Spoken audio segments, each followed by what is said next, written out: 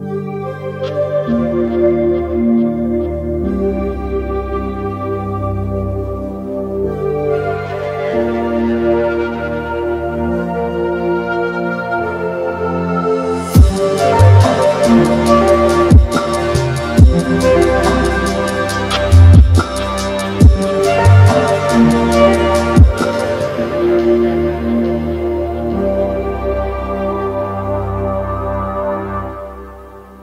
Hey guys, welcome back to another video. If you guys don't remember, uh, about two, three months ago, I ended up shooting a Polo GTI. Uh, so this is Dylan over here. Um, and last time we did a review on it, but today we are pretty bored. I'm also here with Manji, um, as you'll see in my next clip. But we just decided to come to the mountains, shoot something cool, and hopefully get some cinematics. So uh, Dills, go ahead. Uh, yeah, so I mean, you guys might remember uh, this Polo GTI from one of AJ's older videos. Uh, I got the sunglasses on today because I'm quite hungover, so bear with me. Um, yeah, I mean, we've got, uh, you know, we've got the intake uh, for the fat doses, mate, when you're going down chapel. Uh, you know, we've got, um, I don't know what this shit does, but I, I, like, I, I personally like to put some rum in there. You know, if you, if you rock up somewhere and you need a drink, you've always got the rum there. Um, what else have we got? We've got the, the downpipe, mate. Uh, we've got the turbo somewhere in there. Uh, we've got all kinds of fucking new age shit, you know, like even things like you can put that there. That is revolutionary, mate. That is revolutionary. The bonnet even closes on its own, mate.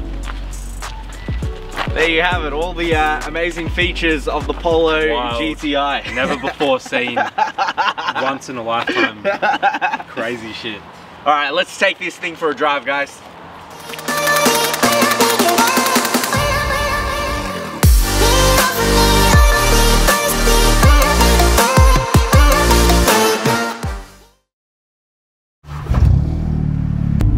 Alright guys, we're uh, down Mountain Highway. Now Mountain Highway is known for their very nice tight corners and edges and um, it should be a sport mode for really you. good drive down here considering the uh, nice tollgate turns that are available. Now I'm not going to be driving it too hard just because I have to respect Dylan's wishes of uh, not driving this too fast. But, um, We're more paranoid. Should I close this for wind noise? Yeah, Yeah, close yeah. We're a bit more paranoid. Um, lately, there's been a few unmarked highway patrol cops sitting around this exact road. So uh, we're both kind of in a position where we can't really lose our licenses again. So Yeah, so I am uh, being quite sedate with it, but uh, it's always fun. it's still a Um, good road. Like um, I, I gotta give it to to this car. Like you don't get any responsive feedback because of the electronic steering, and it feels so like supple in terms of like such a smooth ride. But then it can kind of creep we up are on you bit. hitting the corners at a decent speed. I mean, I'm not really taking it to its limits, but this thing is holding its own as I press the accelerator and as I turn the wheel. It just grips to the road, and there is no tire noise either. So And they're not even like decent tires on them either. Exactly, so- and so it's a, it's a bit of a strange feel having that electronic steering feel with no feedback, but such a strong grip on the road. Um, it, it is weird, but it is also great. Um, it's like a bittersweet moment, uh, and, and, and it's good. I like it. Yeah, So it we- can it can be sometimes. Um, I suppose it almost creeps up on you a bit sometimes with the electronic steering. Yeah, you kind definitely. of keep going harder, harder, commit, commit, and then it's like, oh shit.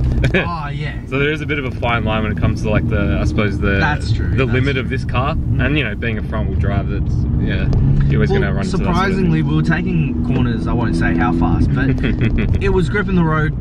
No screeching from the tires. Tires, I couldn't really say being warmed up too much. yeah, well, we've just sort of been doing a bit of shooting and stuff, so Yeah, so this is actually really decent in terms of the way it handles. Um, maybe it's because of the tighter wheelbase that it's gotten a wider tread, like a wider stance but a, a shorter wheelbase.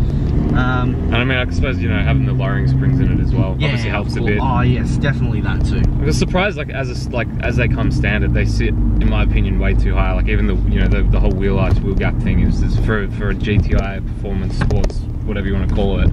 Um, yeah, one of the first things you probably want to do if you got one of these is lower it. So Yeah. How'd you feel, uh, Manji?